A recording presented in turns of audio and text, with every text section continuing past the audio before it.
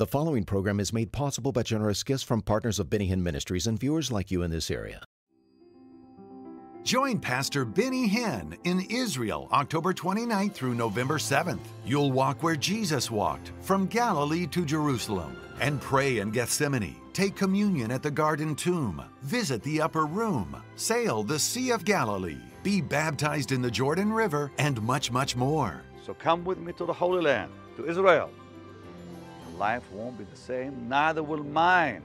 So come, let's experience God in the Holy Land.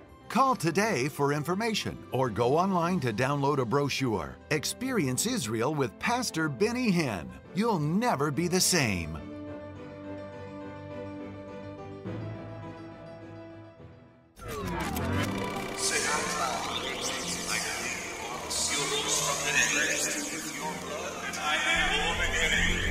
Pastor Benny Hinn is urgently preaching the gospel to the lost because the world's only hope is salvation through God's only Son, Jesus Christ. The gift of God is life eternal.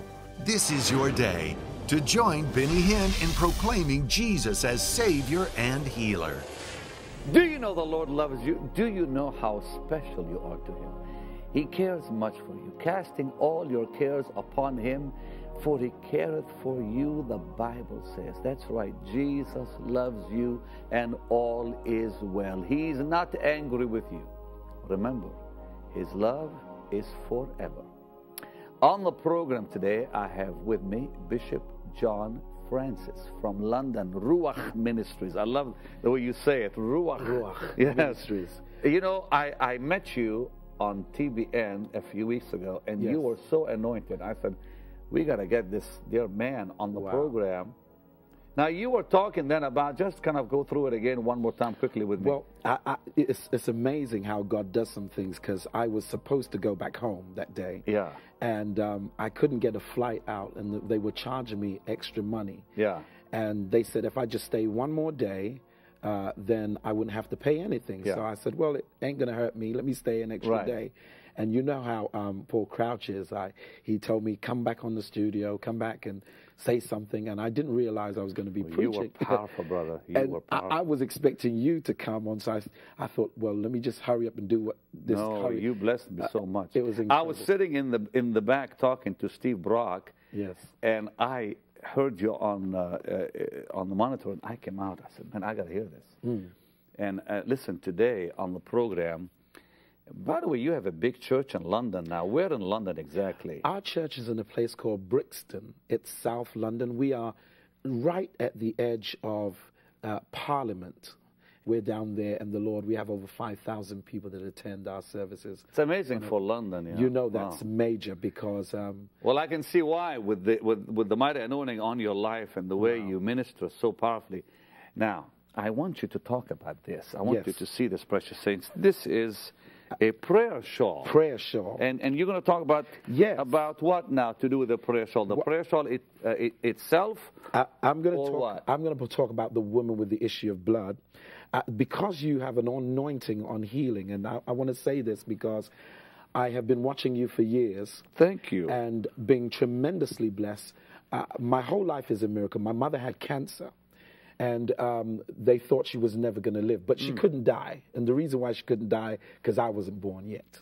So I'm the child that was born after cancer, and since then. Uh, I, I guess my ministry and my father's ministry, um, when he was alive, um, we have been gravitating to what we call a healing ministry Absolutely. uh, because since God did it to her, delivered her, of course, that's something that I believe now in healing. And people don't believe in divine healing, but I've watched your ministry. I've, I've seen how God has moved, um, even just on the television. So I, I, I thought today, while I was coming, uh, the Lord put in my heart, I did a teaching on this prayer shawl. A lot of people seem to see it all over. It's a, a Jewish prayer shawl, which they call the talith Yes. um, and uh, a lot of things that uh, that comes to my mind, especially the book of Mark, when the Bible speaks about there was a man by the name of Jairus who needed a miracle Mark for five, his, his yes Mark five for his daughter, and he tries to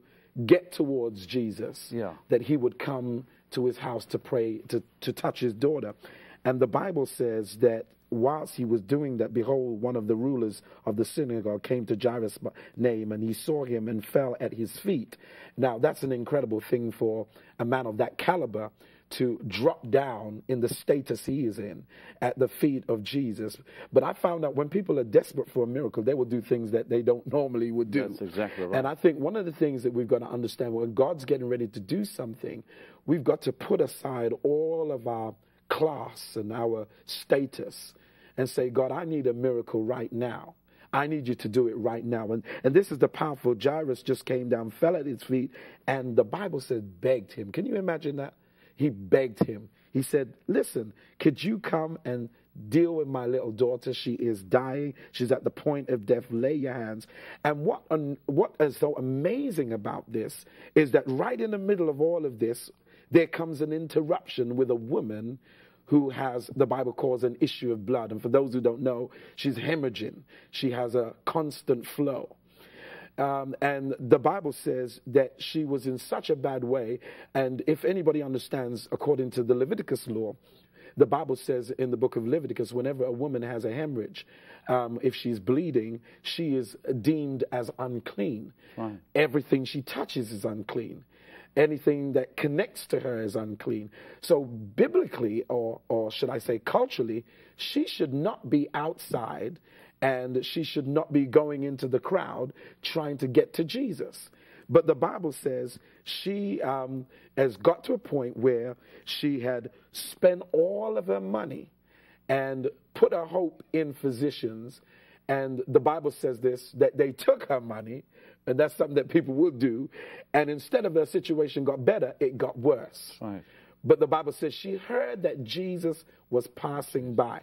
Now, what I want to show um, about this woman, that this woman is walking in divine revelation. And a lot of people don't realize this because she's breaking some rules. She needs a miracle.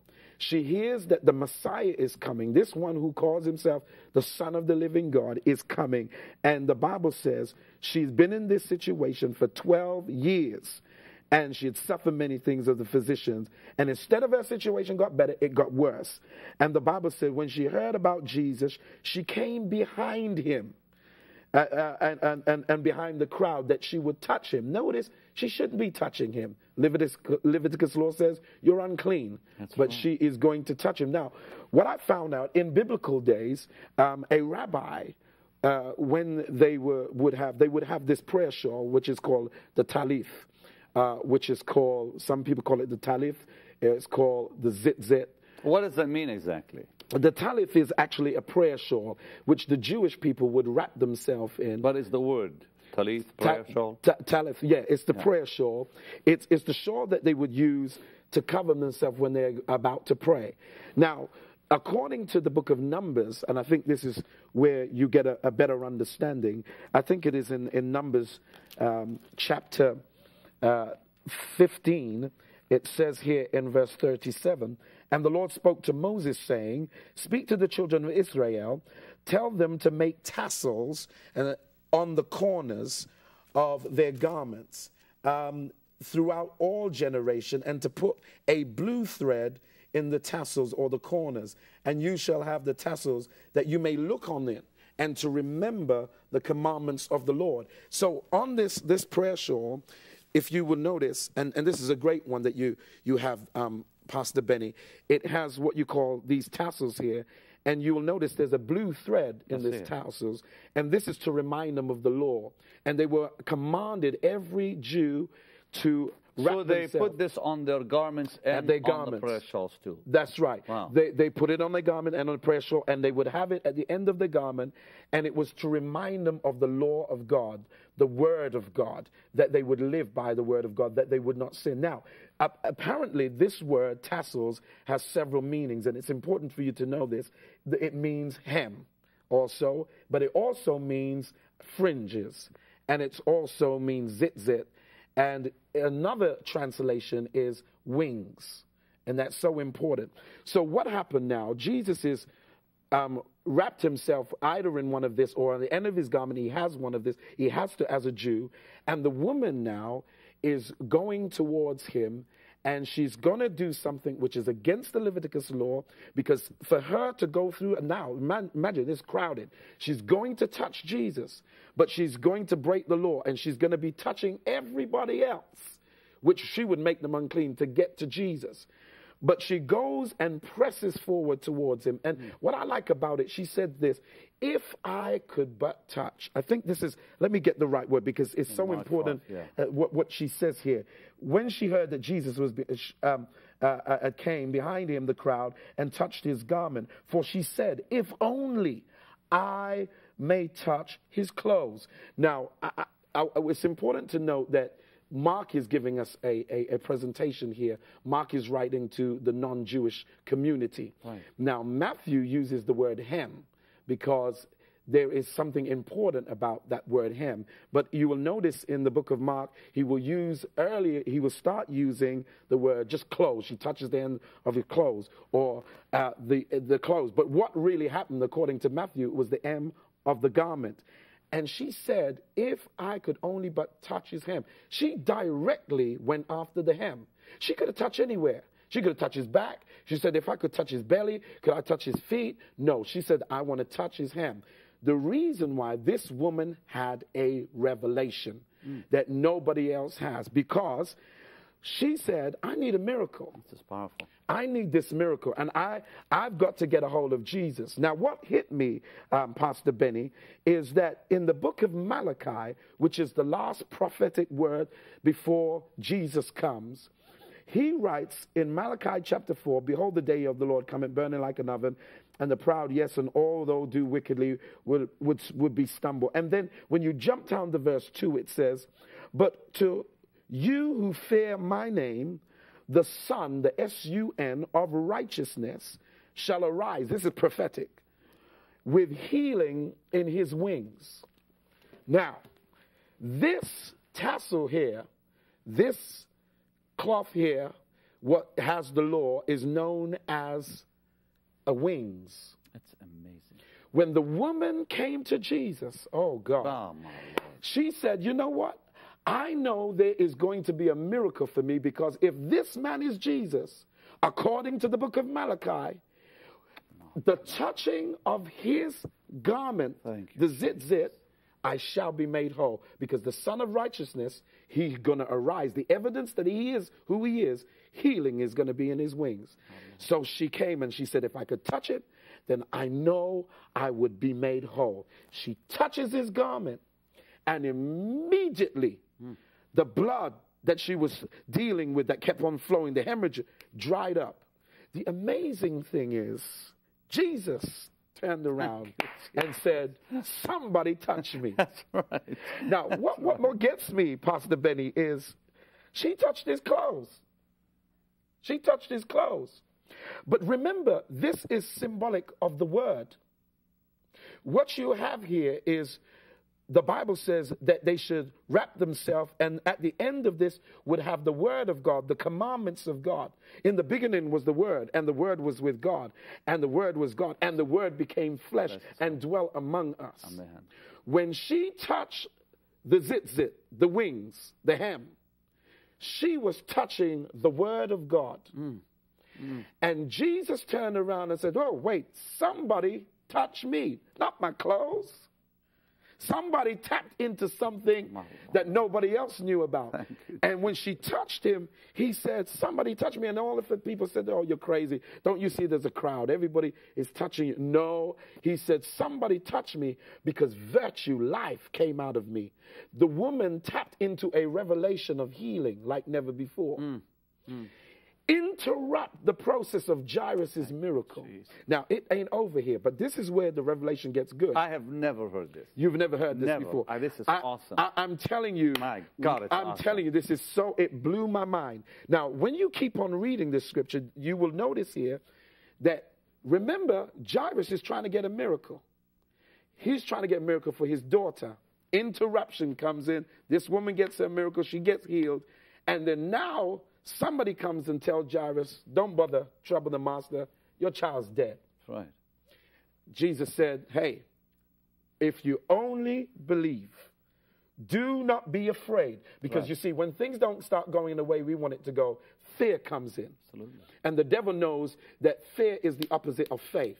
Yep. He believed that Jesus could heal him, but now it looks like a, a, a sad situation, a thing that cannot turn around. Now, the Bible says that he says, only believe. And then Jesus does something. The Bible says he permits no one to follow him. Because you know, sometimes when you need a miracle, you don't need negative people around you. Exactly. Oh, wow. I, I, I've noticed, I've noticed, if I can say, when I come to your crusades and I watch your crusades, the anointing, the worship, the way you lead people into worship is so important to create the atmosphere for miracles. Absolutely. See, I'm a worshiper as well. I, I'm a singer. I, I, I worship as well. And so I, I, I am attracted. And by the way, I, I take all your songs. I have a miracle service every last Sunday in my church. I sing all your songs and I create the same atmosphere. And we've seen cancer being removed, the blind eyes Thank open, the miracles happening Thank because the atmosphere is so important. I, I just feel led of the Lord to tell people who wants to be. I mean, you have some awesome miracle crusades coming. We're looking forward for you to come into London. I'm coming, yeah. And I'm telling people, you don't need to be around people that don't believe. Absolutely. That, that you have to only believe. And the Bible says here that he goes in and he permits no one to follow him except Peter, James, and John. These are the inner court people. Yeah. These are the ones that have been around him.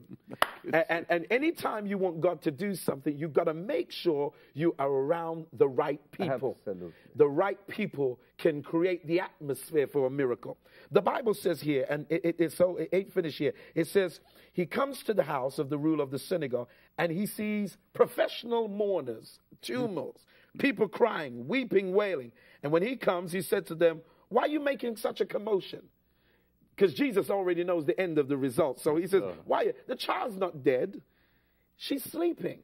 Now, here is the, the amazing thing: is the child now is supposedly dead, but he's saying, no, this ain't no situation for me. She's sleeping. And what gets me here, the Bible says that at, at that time they began to talk about him, ridicule him, but when he, he came to a point, he put them outside. Because sometimes when you need a miracle, you need to get some people out of your life Absolutely. until you get your miracle. Oh. And the Bible says he put them outside, and then afterwards he only lets the mother and father comes in. Now, here's the best part. I found out from a good, ra- brother. I found out from good. I, I I found out from a rabbi that that what they would do is when a child dies, they would wrap them in a shroud in the talith, Really? And they would wrap this child. A rabbi told you that? Yes, a rabbi told me because I, I needed to make sure Wow. I'm not saying saying something that don't make sense. And they would wrap that child in the talith, and the child would be there when they the child passes. Now, Jesus is a rabbi. He's not supposed to go into a room and be where a dead child is. But let's just say what qualifies him to go into the room. The woman with the issue of blood touches him. And according to the Leviticus law, by she touching him, she's made him unclean. Exactly. Which qualifies him to go into the house where the dead child is. Dear Lord. Now, here's this. It ain't through yet. She's wrapped up. Brother, I gotta take a praise Okay, break. here. hallelujah. It's wonderful. Thank you, Jesus. No, I mean you're saying you're saying things. I'm telling you, you know, we just don't think about. Yes. That when she touched him, yes, she made him unclean. Basically, I mean, what's what the law says. The, so the law. And as a rabbi, he could not be what the dead are. yes. But he did because of that. Yes. Yes. God, Now, the Son of God, of course, could not be unclean, Yes, but yes. basically, according to the law, according to the Jewish custom, he- Right. and Jesus was very good at trying to keep up with the people. that's right. This is good. trying to keep up with. And so here's the nice thing she's wrapped up in this. And Jesus says something really strange. He says, Talitha Kumai. Now he speaks in Aramaic rather than speaking in Jew. Now, in Aramaic, Talitha Kumai means damsel, little child, Yeah, get up, right. arise. But the word talith in the Hebrew is this. For goodness sake. He was saying, child wrapped up in the word. I say to you, Lord arise. Wow. See, when there's a word that God gives, I don't care how bad the situation is, the death can, the dead can come to life. Absolutely, brother. Absolutely. It takes a word. It takes a word. It takes a word. It takes a word. So immediately, see, Talitha Kumai. That's what he said. Child wrapped up in the, the word, Word. Wrapped up in the word. I'm telling you, people don't understand. For years, we've been seeing the Jewish people wrapping up praying in this, and we didn't understand as Gentile people the power of this, Mm. the prayer shawl, the power, the anointing in the prayer shawl. I've heard stories of people uh, that's got healing. I was in a crusade at a conference in Philadelphia, and there was a woman with cancer, and I was preaching this very message, Pastor Benny. And after I finished preach, the Holy Ghost said to me to just wrap it around people, and they were being slain with the power of God. Then the pastor, the bishop that was of, over that conference, said to me, "There's a lady who has cancer in a wheelchair." And um, when I, I- I, I heard, he said, Would you go to the back and pray for her? So I said, Okay, I'll do that. I went over to the back, wrapped her up, just like I preached the word. And she was in the wheelchair, and they said she had cancer, she was going to die. And I said to her, as the word said tonight, Talitha Kumai, My God. God said, Arise. Pastor Benny, that woman get, came out of the wheelchair mm. and she began to walk. This year, I went back to that conference again. They invited me a second time, mm. and she was testifying how she's completely healed from cancer. People don't realize the power in this prayer shawl. And I really believe that God's going to do some awesome miracles because of what, let me tell you, this is the season. This is the time for manifestation. The Lord has us in prayer. I've been praying, and He said, John, this is the year of intercession. The word intercession, inter means between, session means to stop, it means to stand into, in the gap. Now, I think the, the, the word for that is paga. I believe that God is, is, is setting up, and I'm so excited you're coming to London. I'm excited of the crusades you've been doing, man of God. And I pray that you will continue, like other preachers just seem to uh, uh, think in, in just one mode, but the Lord has used you to go to the nation of the world. I've seen the crowds in India and in Africa and in, in Croatia and in, in, in Korea, rather, all these different places. And people need to be free. People need deliverance. They will criticize your ministry. They criticize all God's ministers. But let me tell you something there is a divine healing power and an anointing on your life for such a time as this. And God's going to do some awesome things. And I believe today, while we're watching, someone's getting a miracle right now. Ah. Pray- pray- hallelujah. pray for them right now. Ah, Thank oh, you, Jesus. hallelujah. Thank you, Jesus. moral, faith, Thank you. Father, I thank you right now for your anointing. Thank you for your power. Yes, Lord. Thank you for your Holy Spirit that Yes, is right Lord. here, right now. God, somebody needs a miracle right now. Somebody under the sound of my voice needs a miracle. And I pray in the name of Jesus as we connect, Lord, with Yes, this Lord. prayer shawl, that Jesus. somebody will get a miracle right now. Lord, right Cancer, now. we destroy you. In Jesus' the name of Jesus. In Blood Jesus. pressure, we destroy you. In. In the name of Je- Jesus. Sugar diabetes, we destroy you. Whatever sickness you have, in the name of Jesus, just like Jesus said, Talitha Kumai, child wrapped up in a word. You can't die. There's a word over your life. You can't go. There's a word over your life. God has promised you destiny and purpose. And in the name of Jesus, we decree healing and miracles right now. In the name of Jesus. Ah, according to your word. We thank you. Jesus' name. Hallelujah. Hallelujah. Lord, we praise you. Thank you, Jesus. Whoa. Thank you. I got to tell you something, precious saints. You know, I was in the Holy Land a few months back, Yes, Jesus. and uh, we offered this to our people, and I had never felt Wow. free to offer it on TV. I said, well, there's a time for it. Yes. And you, he came this morning, and he said he was he's going to he's going to teach on this, and he said you had forgotten your. Yes, my prayer show. I said, the I Lord said, I think we have one here somewhere. And it was up in one of the offices, and we have these in our warehouse. Amazing. Thank you, And we don't have a whole lot of them, Wow. but we'll order more. And if you want a prayer shot like this, Jesus, I feel the anointing here. Oh, Lord, my Oh, you, God, I give you praise. Lord, you, people of God, lift your hands and praise Yes, Him. Jesus. Thank Yes, you for your miracle. Just thank Him right Thank now you, for your Jesus. healing. Praise Thank you, Him for your miracle. Thank you, Jesus. Blessed be the Lord God Hallelujah. Almighty. We bless your name, bless Lord. you, Lord. We We bless your name, Lord. you, Hallelujah. Hallelujah. Listen, you can get one of these prayer shawls. In, in fact, on these we have the scriptures written in Hebrew. Yes. We have something also beautiful on the on the sides here in English. For he made him to be sin, Yes. who that we might become the righteousness of God. Isn't Wow. that great? Son of remember the Son of Righteousness shall arise. Yeah, we had scriptures put on, on the on the edges.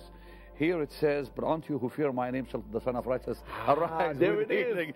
in his, wings. Malachi. And he was wounded for our transgressions, Yes. bruised for.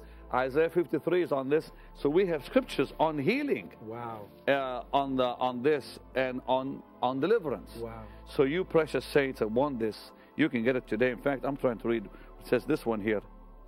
And they desired of him that they might only touch the hem of his garment. Yes. As many as touched it were made whole. Dear God, I feel that opening. You know, That's she so started a resolution. The, when you look in the scripture, Pastor Benny, after that, everyone was touching his garment. Ah. Everyone. Listen, for a gift of $30, you can get this.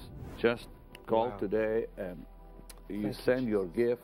Help us go around the world. Honestly, I wasn't planning on offering this, but God, God is in this. Yes, The Lord is yes. really in this. And a free gift for you. Your will, Lord, not mine, discovering God's will for your life. It's a free gift. Make sure to call today. And I'm asking you to send your email addresses because I'm now sending you special, uplifting, faith building messages from around the world.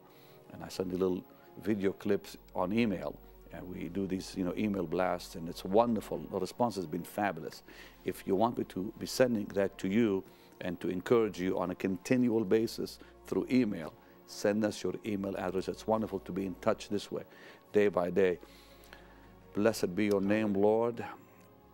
I pray every life will be transformed and used and anointed in Jesus' name. Amen. Love you. I'll see you again tomorrow. Bye bye. Pastor Benny Hinn has four exclusive prayer shawls which will enhance your time with the Lord and remind you of His promises. Household salvation includes scriptures for you and your loved ones.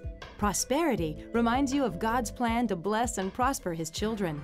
The power of God features promises of His might and protection. And the glory of God relates His desire to fellowship with you in His presence. Your choice of these prayer shawls is available for a gift of $30 or two for $50. Quantities of each are limited, so call today for the best selection.